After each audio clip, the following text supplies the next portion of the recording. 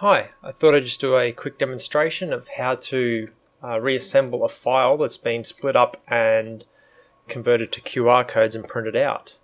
So I've just got a uh, live USB of Tails running and I'm going to use a utility called ZBarCam uh, to scan the QR codes back in.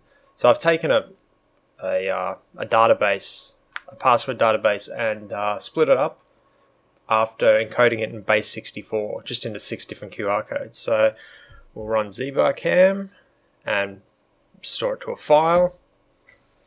All right, so we just got to wait for a green box to show up, say it's scanned. Go. One, two, three,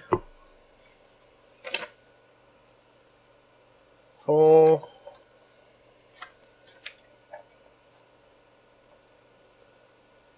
it's a little bit picky about orientation. Let's try it.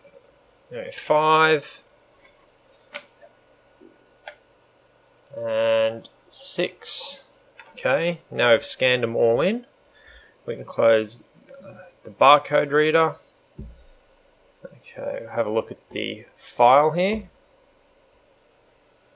and it puts each decoded uh, barcode um, as a separate entry just with a header of what type of code it was. So we'll just delete them. You could probably write something to do it but because it's a small job we'll just do it by hand.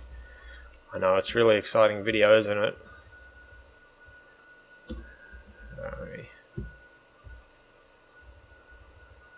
Bang. A couple more